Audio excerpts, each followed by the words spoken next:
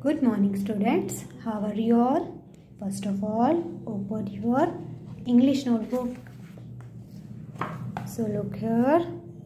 This is your today's work. Write the first letter of the picture. Okay? Now look here. Which picture is this? Tree. T T tree. So we have to write here T T. Next is mango.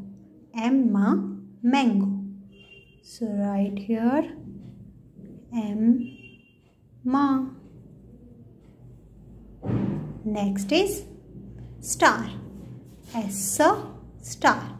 So right here S. Next is grapes. G G grapes. So right here G G. And next is umbrella. U A umbrella. So right here U A. Okay. So you have to complete this page then send a picture to me. Okay.